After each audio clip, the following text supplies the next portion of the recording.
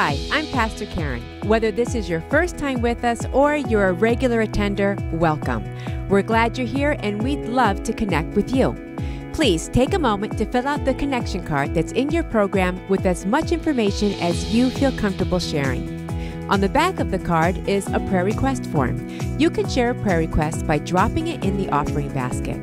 We also have a gift for you a book by Mark Batterson called All In. Pick up your copy at the Welcome Center.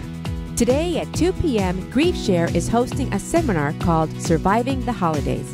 This event is for anyone who is grieving the death of a loved one.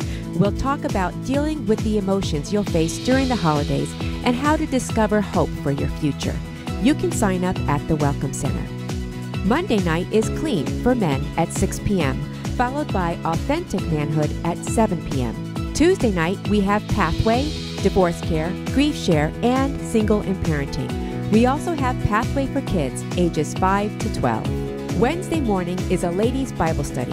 Childcare is available upon request. Wednesday night is Family Life Night. For adults, we have the Alpha Course. We're also offering Prophets and Kings. This class meets at Sacred Heart School.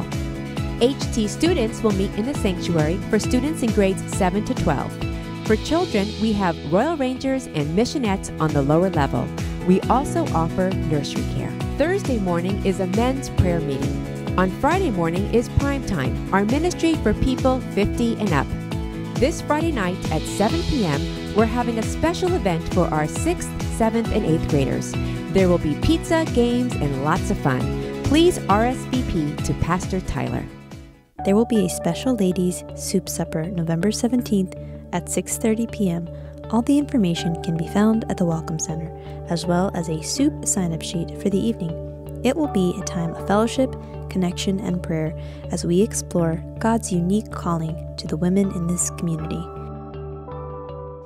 Prayer for Prisoners is a ministry that we're bringing to HT this Saturday, November 18th at 11 a.m. We'll be writing Christmas cards to prisoners that aren't able to spend this holiday season with their families. Please visit the Welcome Center to sign up. If you have any questions or if you'd like more information on courses and programs, please stop by the Welcome Center or visit us at htchurch.com. Follow us on social media for more updates. That's all for this week's news. God bless you and have a great day.